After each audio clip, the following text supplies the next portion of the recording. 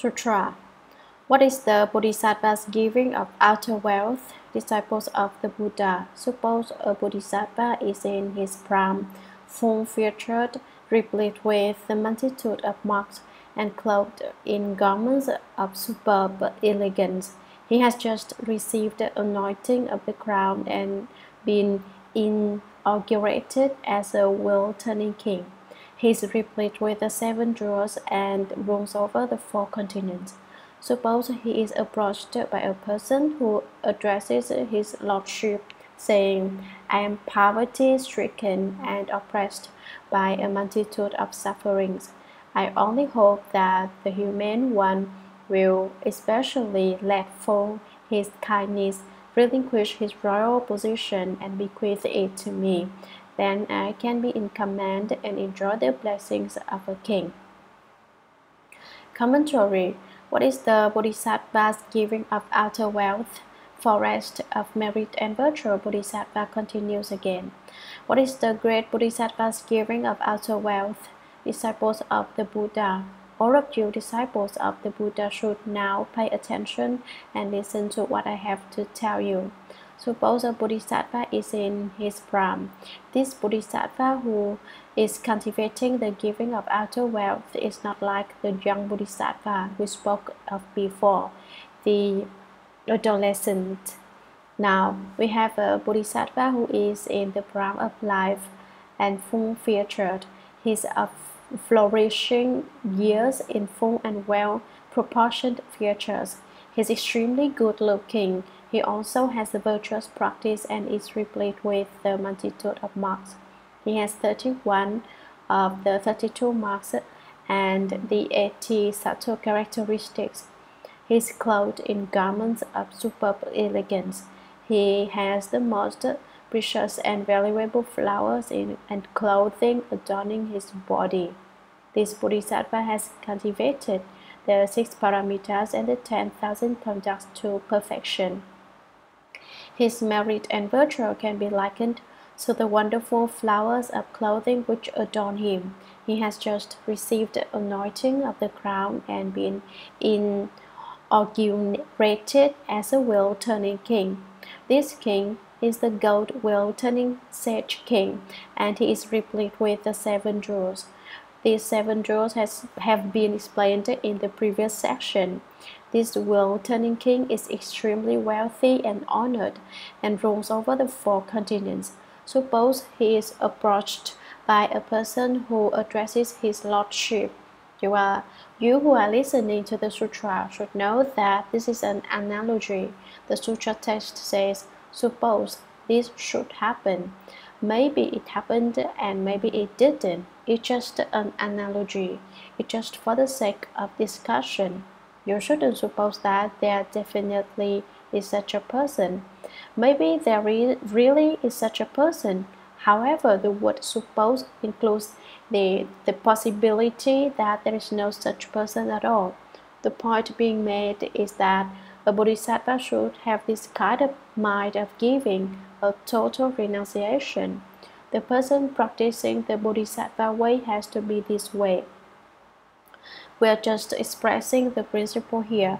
So, suppose a person comes and says to the king, I am poverty stricken and oppressed by a multitude of sufferings. I am impoverished to the point that I don't have any food to eat, any clothes to wear, or any place to live.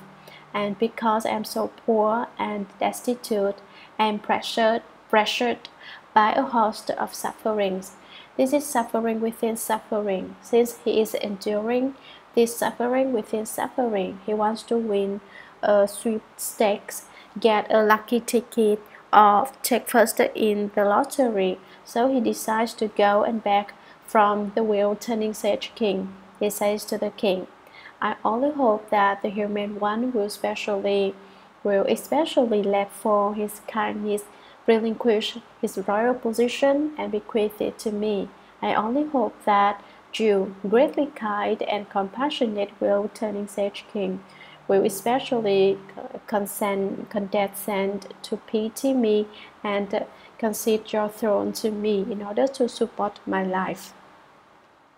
Then I can be in command and enjoy the blessings of a king. If you give me your kingly position, then I will be a wheel turning sage king. I will stand in for you to govern the four great continents. I will enjoy the happiness that you heretofore have enjoyed. O, o King, all of these kinds of blessings and rewards will be mine. So everyone think it over. If you were to become a wheel turning sage king and then such a completely nutty person were to come back for your position of wheel turning sage king, would you be able to give it up or not? Return the light and ask yourself whether or not you could do this. Some people say what is spoken of in the sutra is just talk what will sage king would possibly be able to relinquish his position in that circumstance. It's just because you could not relinquish such a position or uh, such a position if you were in it that you have never been able to be in that position. If you were able to relinquish it, then you would be able to become a wheel turning sage king. It's just because you are so stingy and wouldn't be able to give up the wealthy and honored position of a king that up to now you haven't attained this kind of position. Sutra. At that time, the Bodhisattva thinks like this. All that is glorious glorious will pass away, and when it is gone, I will be unable to further benefit living beings. It is fitting that I fulfill his wishes. Having had this thought, he gives him everything without any regret. This is called the giving of outer wealth. Commentary At that time, what time? When the person comes to ask, the wheel turning sage came to bequeath his royal position to him. At this time, the Bodhisattva thinks like this All that is glorious, the riches and honor that I revel in now will pass away, and when it is gone, I will be unable to further benefit living beings. It's for certain these will all fade and come to an end. When that time comes, if I want to practice giving, I won't have any way to benefit living beings. Although now I can benefit living beings using my present riches, however, if I wait until I don't have any riches, then not to speak about benefiting living beings, I won't even be able to benefit myself. Therefore, it is fitting that I should fulfill his wishes.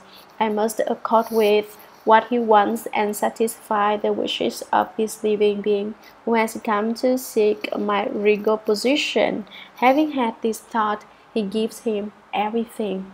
After having had this thought, he instantly gives up his position of wheel turning sage king to that person without any regret. He has no afterthought, no remorse. He gives everything away, but the substance of the three wheels is empty. There is no reciprocity of the gift to the giver. There is no one who gives, there is nothing which is given, and in the middle there is no one who receives. The substance of the three wheels is empty, so it says he gives without any regrets.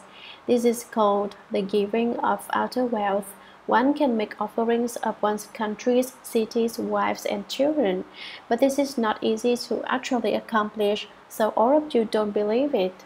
If you believed it, you'd be able to practice the Bodhisattva way, but people who don't believe will have to wait a while and in the future they will be able to practice the Bodhisattva way.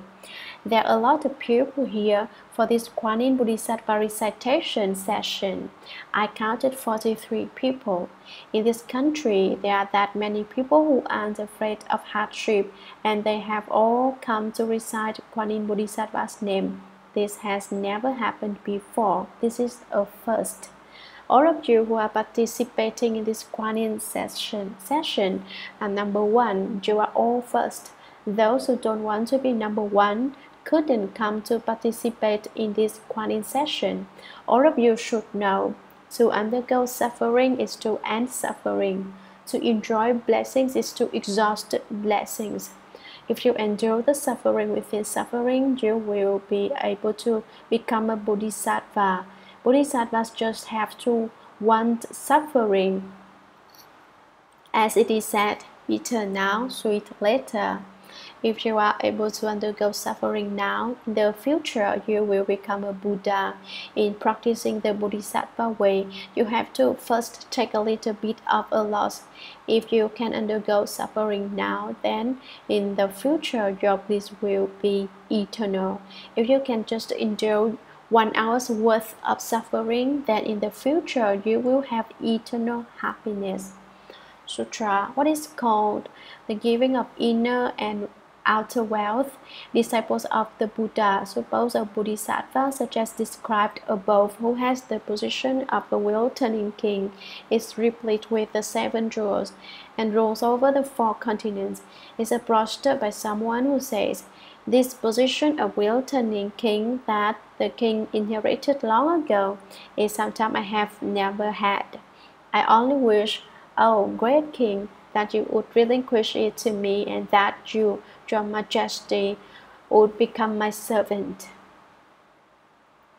Commentary Previously, the sutra explained the giving of inner wealth and the giving of outer wealth. The giving of inner wealth is the giving of head, eyes, brains, and marrow. The giving of outer wealth is the giving of countries, cities, wives, and children. Now, this session of text discusses the giving of inner and outer wealth. What is called the giving of inner and outer wealth? This is a rhetorical question. Is asking about this kind of Dharma, disciples of the Buddha. The Bodhisattva forest of merit and virtue again is afraid that all of these Bodhisattvas have entered Samadhi, so he calls out again. Disciples of the Buddha. Suppose a bodhisattva such as described above. The bodhisattva who is youthful in age, robust, and strong, whose body is adorned with the marks and characteristics just as the one described previously, who has the position of a wheel-turning king. He is in the position of a gold wheel-turning king and is replete with the seven jewels. His seven jewels are totally perfect and complete and he rules over the four continents. He lords over the entire universe. Suppose he is approached by someone who wants to test him and who says, This position of wheel turning king that the king inherited long ago is something I have never had. You've been a king for a long time, but I've never gotten be to be one. I only wish Oh, great King, that you would relinquish it to me. But not only do I want that, I also hope that you, your Majesty, your Majesty, would become my servant.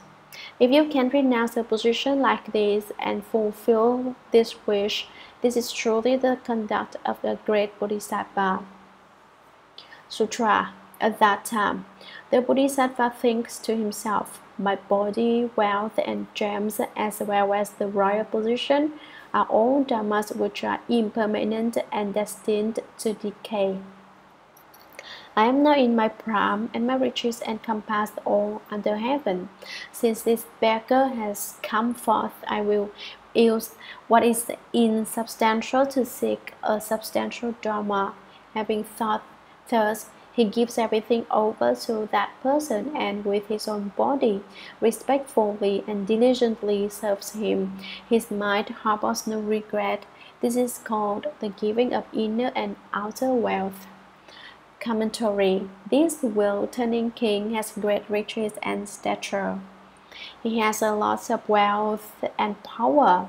A person has come before him to beg for his royal position and all his wealth. In addition, he asks that the king become his personal servant.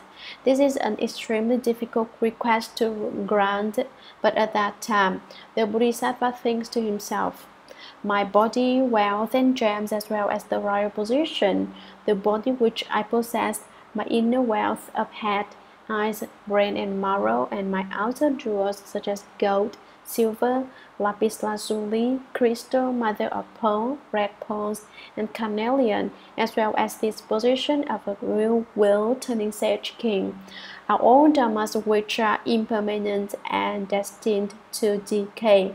They are all impermanent, and in the future they will certainly perish.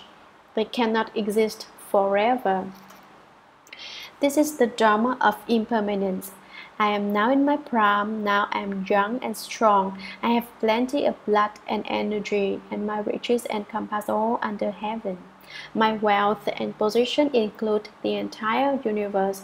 Everything under heaven is mine, since this beggar has come forth and is one who seeks my wealth and position of a king. I will use that what is insubstantial to seek a substantial Dharma. I will offer up his body which is insubstantial, and my throne and riches which are ephemeral, and give them to this person so in order to seek for the firm, strong Dharma, the Dharma of irreversibility from Anuttara Samyak Sambodhi. Having thought thus, after thinking this over, he gives everything over to that person he immediately gives away the position of a king, his body, and all of his wealth. He gives it all away and doesn't keep even a little bit, to the point that with his own body, respectfully and diligently serves him. He is respectful and vigorous when he acts as a servant. He is sincere and giving up his royal position, and after making this gift, his mind harbors no regret this is called the giving of inner and outer wealth. Sutra What is meant by a bodhisattva's total giving? Disciples of the Buddha, as before, this bodhisattva inherits the position of a wheel turning king, is replete with the seven jewels, and rules over the four continents. At one time, limitless poverty stricken people approached him and said, Great King, your renown pervades and is heard throughout the ten directions. Out of veneration you have come. We out of veneration we have come. We each have certain things we would like and we hope that you will be compassionate and fulfill our wishes. Then the poor people begged variously of the king. Some asked for his country, some wanted his wives or children, some wished, wished for his hands and feet, some wanted his blood, flesh, heart, lungs, head, eyes, marrow, and brains. The Bodhisattva at that time had this thought I will eventually have to part from all those for whom I have fondness and love, but it will have been of no benefit to living beings. Now, with the hope of forever casting out greed and emotional love, I will use all of these things that are destined to disperse to fulfill these living beings' wishes. Having had this thought, he bestowed upon them all the things they wanted, without any thoughts of regret, nor any sense of repulsion or contempt toward those living beings. This is called total giving. Commentary After the Bodhisattva forest of merit and virtue had spoken about the giving of inner and outer wealth, he goes on to speak about the giving of everything, total giving.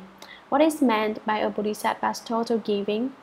Disciples of the Buddha, I will now tell all of you.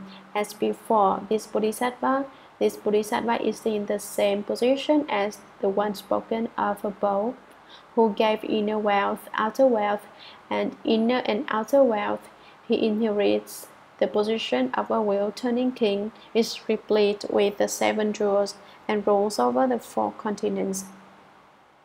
At one time, the limitless poverty stricken people, is not known how many destitute people, approached him and said, Great king, your renown pervades and is heard throughout the ten directions. You're a great philanthropist. Out of veneration we have come. We admire your loftiness, your acts of giving, and your excellent conduct. And so we have come to this country to see you. Now we each have certain things we would like. Each one of us has that which we wish to seek from you. We and we hope that you will be compassionate and fulfill our wishes. Then the poor people begged variously of the king. Some asked for his country, some wanted his wives or children. Not only did they seek things external to his body, but they also sought for things within his body. Some wished for his hands and feet.